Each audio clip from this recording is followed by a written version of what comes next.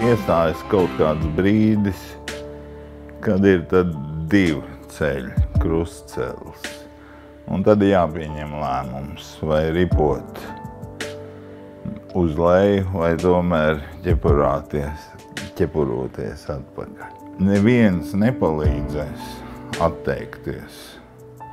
Nekāda medicīna, nekādas tur sievas, mammas, radi.